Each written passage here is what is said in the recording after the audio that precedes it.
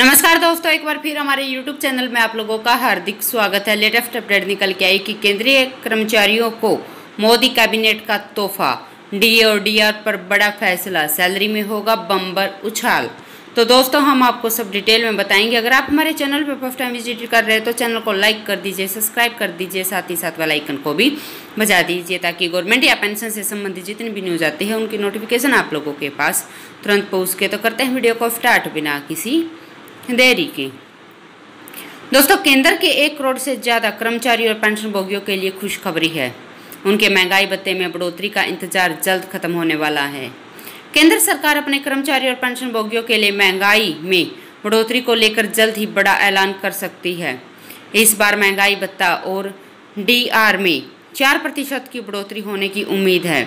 इस बढ़ोतरी के बाद डीए चौंतीस प्रतिशत से बढ़कर अड़तीस प्रतिशत हो जाएगा। दोस्तों, केंद्रीय कर्मचारियों के महँगाई भत्ते में साल में दो बार जनवरी और जुलाई में बढ़ोतरी की जाती है। अभी तक सरकार ने जुलाई का डीए नहीं बढ़ाया है। ऐसे में उम्मीद है कि सरकार जल्द ही डीए में बढ़ोतरी का ऐलान कर सकती है। मार्च में सरकार ने डीए में तीन प्रतिशत बढ़ाकर चौंतीस प्रतिशत पर डीए को पहुँचा दिया था। अब आप, आपको बता दें कि डीए में बढ़ोतरी का फैसला all India consumer price index के आधार पर होता है। इस बार जून माह में खुदरा महँगाई दर सात दशमलव ज़ीरो एक प्रतिशत पर पहुँच गई है। यह महँगाई दर आरबीआई द्वारा तय की गई है।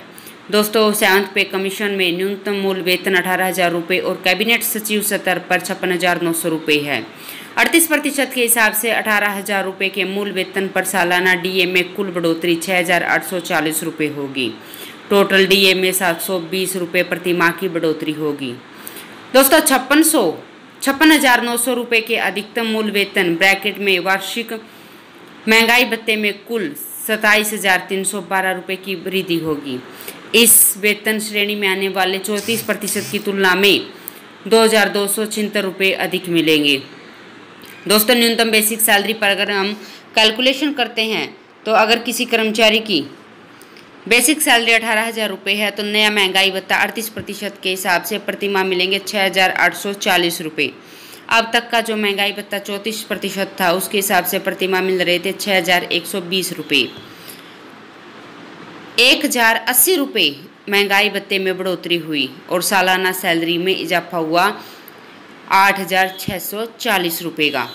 दोस्तों, अधिकतम बेसिक सैलरी पर अगर कैलकुलेशन करते हैं तो कर्मचारी की बेसिक सैलरी छप्पन हज़ार नौ सौ रुपये नया महँगाई भत्ता इक्कीस हज़ार छः सौ बाईस रुपये प्रति माह हुआ, जो अड़तीस प्रतिशत होने जा रहा है उसके हिसाब से। अब तक जो महँगाई भत्ता चौंतीस प्रतिशत है, उसके हिसाब से कर्मचारी को प्रति माह लाभ हो रहा है उन्नीस हज़ार तीन सौ छियालीस रुपये का।